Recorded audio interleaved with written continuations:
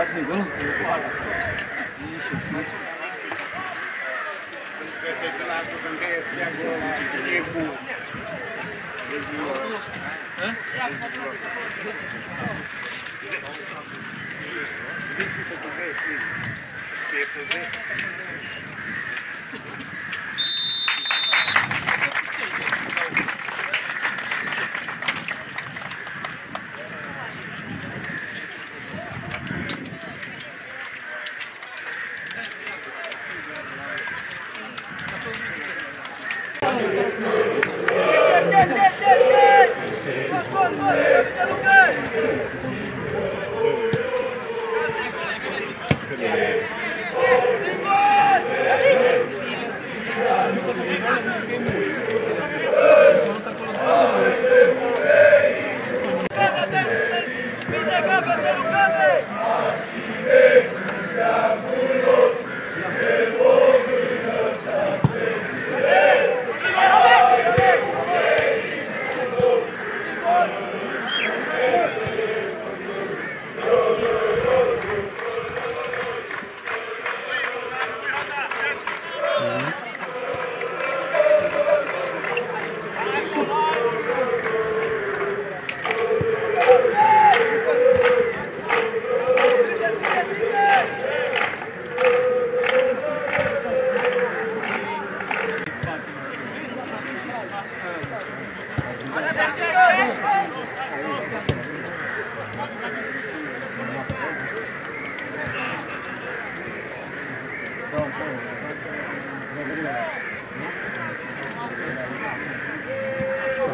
고.